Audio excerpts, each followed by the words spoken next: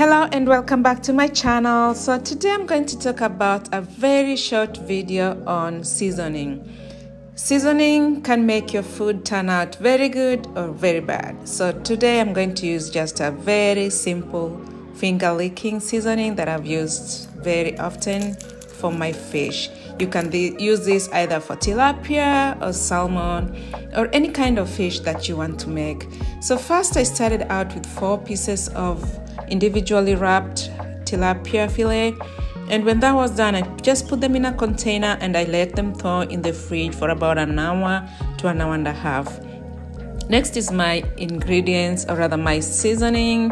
I have my onion powder, paprika, organic thyme, and uh, next is some garlic minced garlic you can use fresh if you have.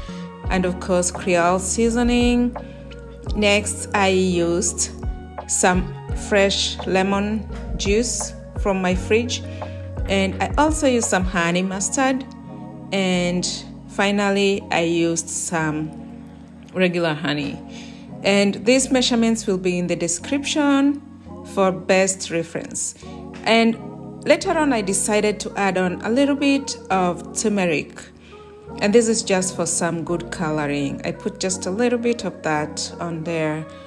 And once everything is in the container, just mix them up until everything is well incorporated.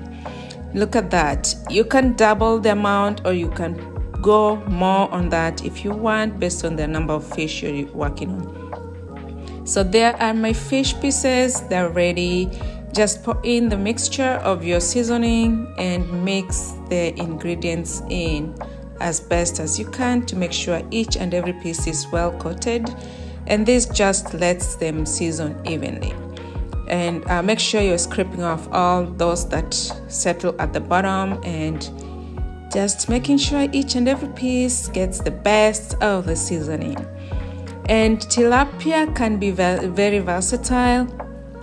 So today this video is just showing you how to season and once this is done you let it sit for a couple of minutes. I always do 30 minutes and this is just to let my seasoning incorporate and absorb real good so it's well seasoned in and out.